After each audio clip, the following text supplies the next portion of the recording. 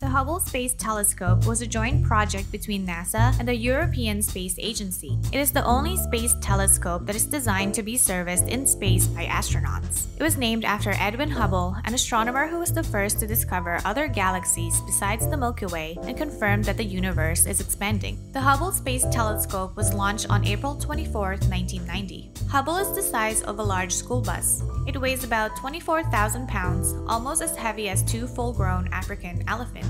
Every 97 minutes, it completes a spin around the Earth, moving at a speed of about 8 kilometers per second. It gathers energy from the sun using two 25-foot solar panels and only requires 2100 watts of power. A typical hair dryer requires about 1800 watts.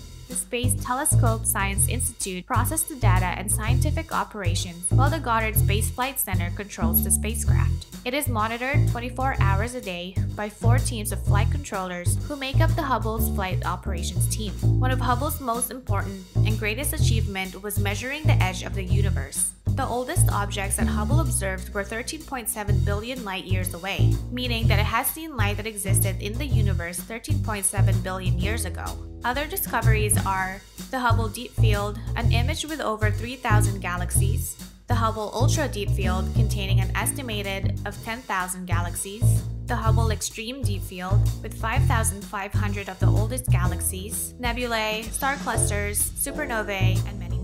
Hubble is in the final phase of its life. Eventually, its components will slowly degrade and its instruments will stop working. The James Webb Telescope is a space telescope that will be the successor of the Hubble Space Telescope and is currently scheduled for launch on March 2021.